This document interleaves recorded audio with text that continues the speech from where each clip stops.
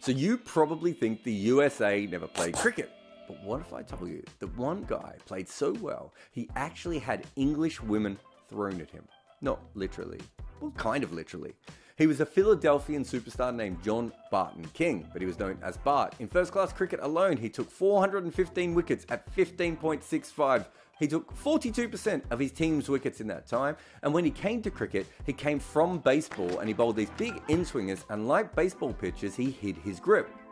He once played against Australia, took 7 wickets against them, also made runs as well, and beat them when they were on the way back from an Ashes. But King's greatest work was in England. In 1897, he took 72 wickets at 24. In 1903, it was 78 wickets at 16, and by 1908 became 73 wickets at 12.26. The best bowling average of the summer of anyone. The best, Jerry. The best. We know how good he was because Ranji once gave him a lighter with a ruby on it. But we also know through one story